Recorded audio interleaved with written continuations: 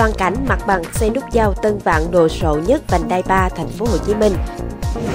Đâu là lời giải cho bài toán chống ngập ở thành phố Thủ Đức? Chợ quê xanh từ vật liệu trang trí đến đồ đựng thức ăn. Phá đường dây trộm cắp xe máy chuyển qua Lào tiêu thụ. Phút đời thường hôm nay, những ổ bánh mì nghĩa tình. Kính chào quý khán giả của Góc nhìn trưa nay. Vừa rồi là những thông tin chính mà chúng tôi gửi đến quý vị trong buổi trưa hôm nay, thứ năm ngày 13 tháng 6 năm 2024. Bản tin của chúng tôi liên tục cập nhật và gửi đến quý vị những thông tin đáng chú ý nhất xảy ra trên cả nước và tôi là Ngọc Luân của chương trình Góc nhìn trưa nay. The Six Premier Charm Resort Hồ Tràm kiến tạo sắc thái riêng theo sáu chuẩn mực sức khỏe quốc tế. Nâng niu từng khoảnh khắc, thanh dưỡng thân, tâm, trí vẹn đầy, trọn vẹn hạnh phúc viên mãn cho cả gia đình.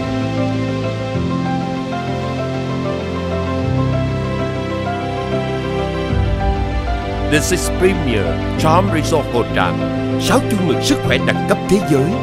kiến tạo sắc thái riêng cho bạn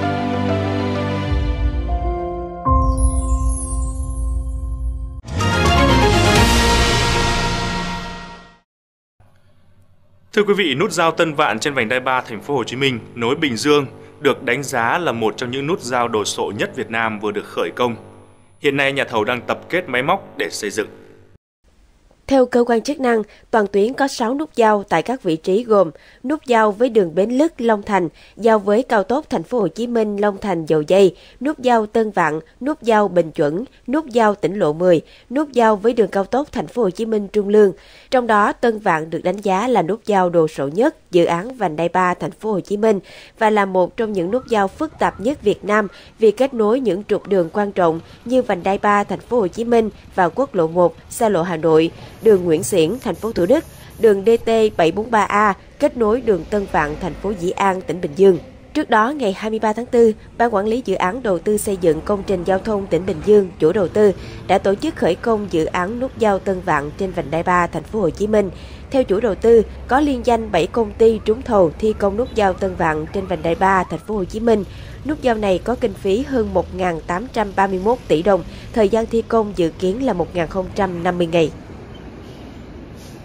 Thưa quý vị, dù có nhiều nỗ lực trong công tác chống ngập nhưng nhìn lại hàng chục năm qua, ngập nước vẫn là một vấn đề nan giải ở thành phố Hồ Chí Minh.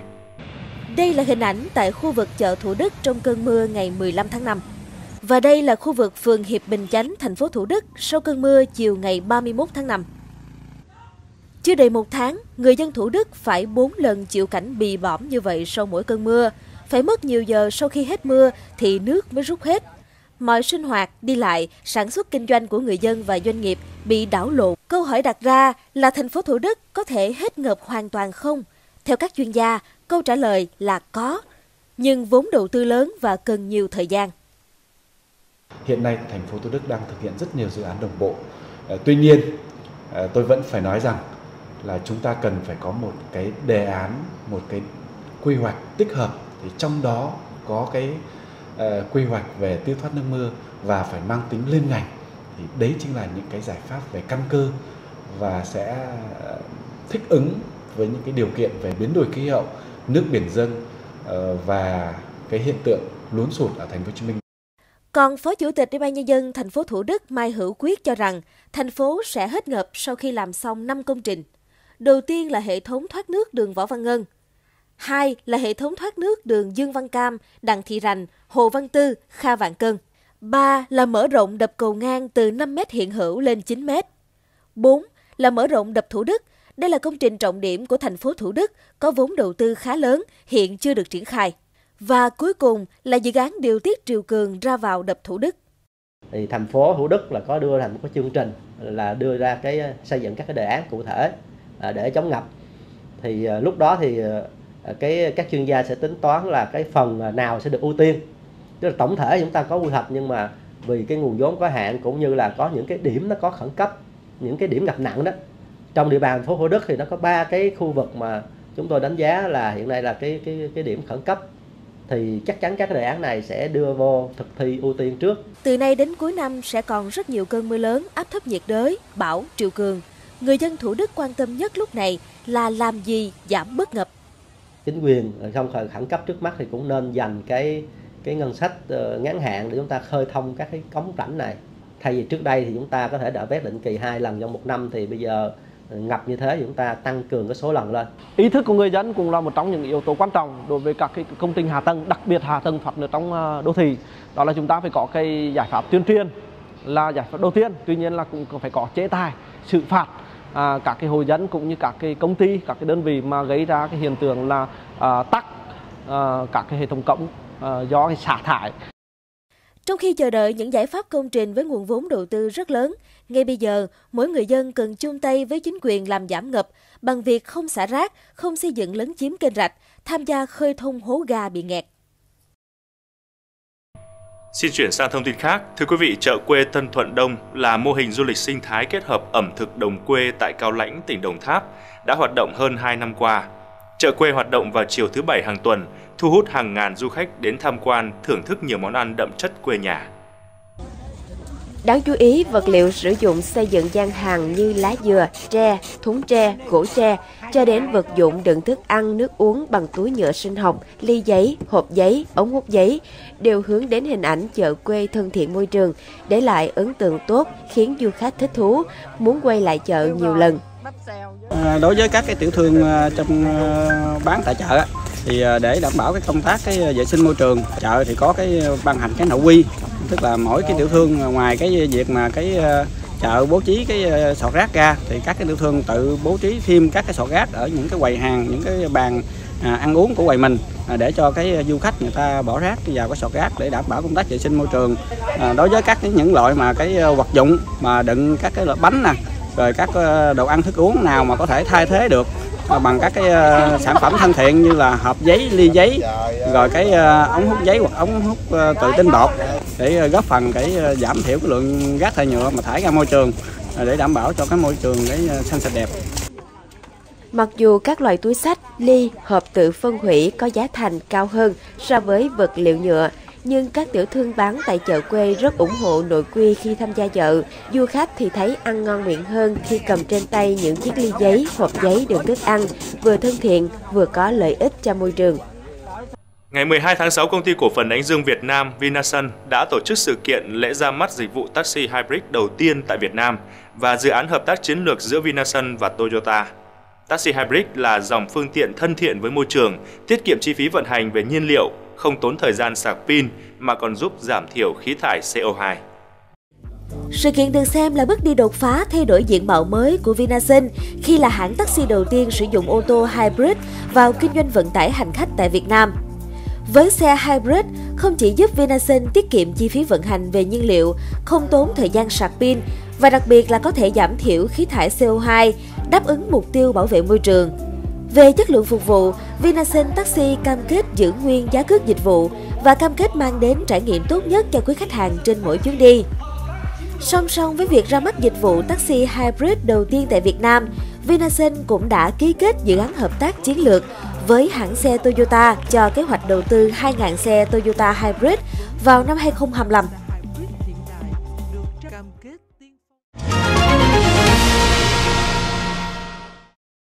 Tiếp tục chương trình là thông tin Công an quận Hải Châu, thành phố Đà Nẵng vừa truy xét thành công một nhóm đối tượng chuyên thu mua xe gian để lừa qua Lào tiêu thụ. Trước đó, Công an quận Hải Châu đã điều tra nhóm 6 thiếu niên từ 14 đến 16 tuổi cùng trú tại thành phố Đà Nẵng, gây ra 22 vụ trộm cắp xe máy trên địa bàn thành phố. Mỗi xe máy trộm được, nhóm người này bán với giá chỉ từ 2,5 đến 3,8 triệu đồng. Tiếp tục đấu tranh, Công an làm rõ Hoàng Tuấn Anh, 30 tuổi, trú tại tỉnh Quảng Bình và Lê Văn Minh, 25 tuổi, trú tại quận Thanh Khê, thành phố Đà Nẵng, là hai đối tượng đã đặt hàng và tiêu thụ 28 xe máy do nhóm thiếu niên trên trộm cắp. Toàn bộ số xe máy này đều chuyển về tỉnh Quảng Trị cho Ngô Tất Thành 32 tuổi và Lê Quý Nhân 39 tuổi cùng trú tại tỉnh Quảng Trị rồi vận chuyển qua Lào tiêu thụ. Công an quận Hải Châu đã thu giữ 19 xe máy để xác minh trao trả cho các bị hại. Thưa quý vị, Công an huyện Thanh Oai, thành phố Hà Nội vừa ra quyết định khởi tố bị can, lệnh bắt tạm giam Đào Văn Đôn, 37 tuổi, trú tại quận Thanh Xuân, thành phố Hà Nội để điều tra về hành vi lừa đảo chiếm đoạt tài sản. Đôn là quản lý kho hàng của một công ty chuyển phát nhanh tại huyện Thanh Oai. Đôn khai nhận do thiếu tiền nên nảy sinh ý định chiếm đoạt tài sản, được đặt mua trên mạng chuyển về kho hàng mà Đôn đang làm quản lý. Ngày 18 tháng 4, Đôn lên mạng xã hội thuê người đặt 135 đơn hàng điện thoại trên sàn thương mại điện tử về kho ở huyện Thanh Oai. Sau đó lợi dụng chức vụ của mình, Đôn đã chuyển số điện thoại đó về nhà và tráo đổi 99 điện thoại bằng các túi cát vào bên trong gói hàng. Sau một thời gian điều tra truy xét, đội điều tra tổng hợp công an huyện Thanh Oai đã nhanh chóng làm rõ thủ phạm là Đôn và thu hồi được 98 trên 99 điện thoại, trị giá tài sản bị chiếm đoạt gần 2,6 tỷ đồng. Công an huyện Yên Định, tỉnh Thanh Hóa vừa bắt giữ nhóm chuyên lừa đảo chiếm đoạt tài sản bằng hình thức cho số lô số đề. Các đối tượng bị bắt giữ gồm Phạm Quốc Khánh 22 tuổi, Võ Văn Diệp 31 tuổi, Võ Văn Tân 31 tuổi, đều ngụ ở thị xã Hương Trà, tỉnh Thừa Thiên Huế. Trước đó, Công an huyện Yên Định phát hiện nhiều tài khoản Facebook đăng các bài viết giả danh nhân viên lãnh đạo công ty sổ số kiến thiết miền Bắc, có khả năng biết trước và can thiệp được kết quả quay thưởng sổ số kiến thiết miền Bắc, nên có thể cho số lô, số đề chính xác 100%. Khám xét khẩn cấp nơi ở của ba người này, công an thu giữ 3 máy in màu, 3 sim và 3 phôi, 15 tài khoản ngân hàng các loại, 30 biển tên giả danh nhân viên, lãnh đạo công ty sổ số kiến thiết, 50 biên bản cho số, hai con dấu cùng nhiều tăng vật khác liên quan. Nhóm này khai nhận từ tháng 10 năm 2023 đã lên mạng tự học các thủ đoạn để lừa đảo thông qua hình thức cho số lô số đề. Nhóm này đã lừa đảo hàng trăm bị hại trên cả nước, thu lợi bất chính hơn 5 tỷ đồng. The Six Premier Charm Resort Hồ Tràm kiến tạo sắc thái riêng theo sáu chuẩn mực sức khỏe quốc tế nâng niu từng khoảnh khắc thanh dưỡng thân tâm trí vẹn đầy trọn vẹn hạnh phúc viên mãn cho cả gia đình.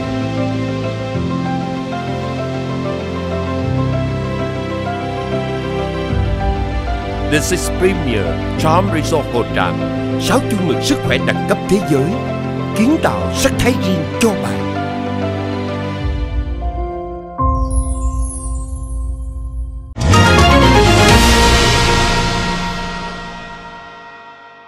Thưa quý vị, ổ bánh mì có giá chỉ bằng một nụ cười và còn được tặng kèm một ly nước khi người nhận nói lời cảm ơn.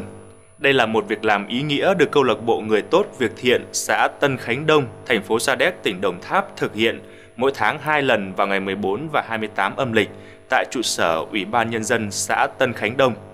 Nơi đây đã nhanh chóng trở thành địa chỉ nhân đạo, lan tỏa và chia sẻ yêu thương của những tấm lòng nhân ái đến với mọi người.